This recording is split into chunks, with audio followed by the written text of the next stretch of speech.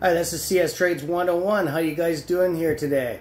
I'm doing awesome uh, myself. I hope everybody's doing good, being safe. So, earnings call today. I want to go over some things. Hedge funds starting to come cover ETFs. Okay, nothing serious, but it's starting to make some price movement. Um, we noticed some price movement today. We went up a bunch of percentage, and after hours, we're starting to climb. Okay, I think we're going to go up a little bit more in pre-market. Um, AMC smashed its uh, numbers, and uh, AMC is now, by the end of the year, accepting Bitcoin. So bring your Bitcoin wallets when you want to go to the movie theaters, because they will be accepting it by the end of the year.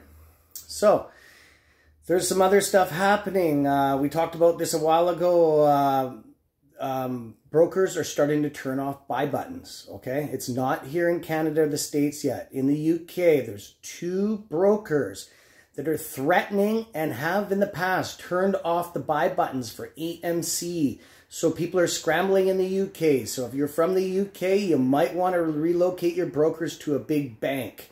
Okay? So you guys are going to get stung again. That does raise concern over here in Canada and the States.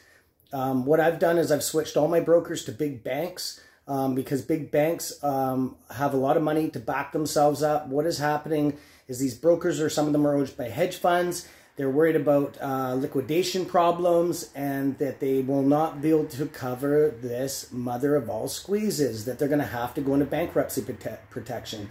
We've bankrupted over 30% of hedge funds already today. Today, guys. Have you heard that correctly? Today. We are winning. Um, ETFs have been covered, like I said, a very small percentage, but it, did drive and move the market price up a bit. Okay, we did have some institutional selling today, which those shares were snapped back up by retail investors because we're hungry for those shares. Okay, guys, we got some new news coming out in the next couple days. We're keeping this shit real on this channel.